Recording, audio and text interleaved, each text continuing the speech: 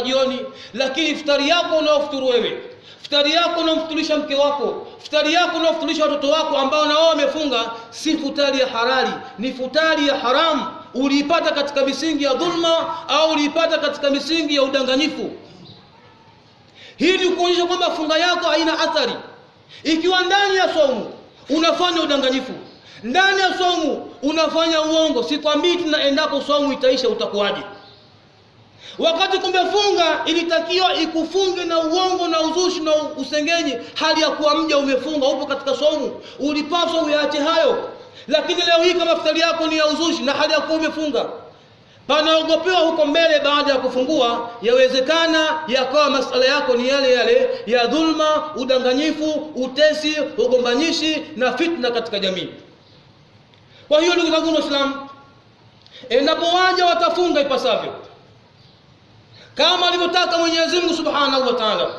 Basi hakuna funga cha kuwaachia wao bali kitawaachia funga itawaachia nini? Ucha mungu.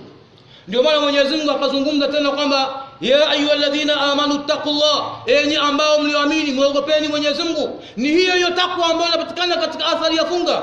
Waqulu qawlan sadida na mzungumze maneno yaliyokuwa mazuri maneno ya ukweli maneno ya kujenga na si vinginevyo. Mkifanya hivyo nini faida yake? Yuslih lakum a'malakum. Mwenyezi Mungu anatengeneza mambo yenu yale ambayo mja unahisi kuwa ni mazito. Yamekushinda ukiwa mcha Mungu ipasavyo basi hakuna jambo litakalokupozito mbele ya Mwenyezi Mungu juu yako. Kila jambo Mwenyezi Mungu analitengeneza kwa sababu amesha ahidi kupitia aya hii yuslih lakum a'malakum Mwenyezi Mungu atatengeneza mambo yenu yote wa yaghfir lakum dhunubakum.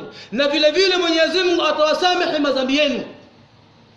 Ndio akasema kwamba ومن يطع الله ورسوله ييتم لكم طيب من يزمك نمتم واكي فقد فاز فوزا عظيما. بس امتهوه يتقوى مفاولك فاولك لبقوى بكوبا وهي نقول الإسلام مثل محمد صلى الله عليه وسلم على سيما قمبا أما يبتا خسارة تنا خسارة كوبا سي خسارة نوكو يولي امتو امباي من يزمك ممجالية أكاوديريكي وزمتكوف رمضان ونحن الآن فيه نحل يكوى sisi hivi sasa tupo katika mwezi huo mtukufu wa Ramadhani.